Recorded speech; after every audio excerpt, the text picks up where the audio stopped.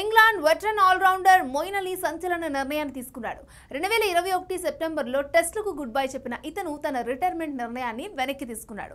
England cricket board విజ్ఞప్తి మేరకు అలీ తన నిర్ణయాన్ని మార్చుకున్నాడు. దీంతో ఈసీబీ మొయిన్ను జూన్ పదహారు నుంచి ప్రారంభం కానున్న యాషస్ సిరీస్కు ఎంపిక చేసింది.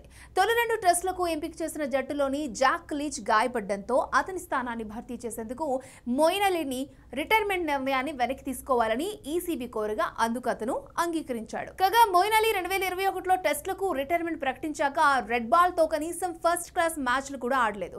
అయినా ఈసీబీ ఇతనిపై నమ్మకంతో రిటైర్మెంట్ను సైతం వెనక్కి తీసుకునేలా చేసి జట్టులోకి ఆహ్వానించింది.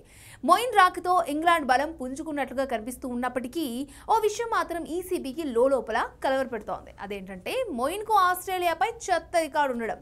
ఆసిస్ పై పదకొండు టెస్టులాడిన మొయిన్ బ్యాటింగ్లో కాస్త పర్వాలేదు అనిపించిన బౌలింగ్లో మాత్రం పూర్తిగా తేలిపోయాడు.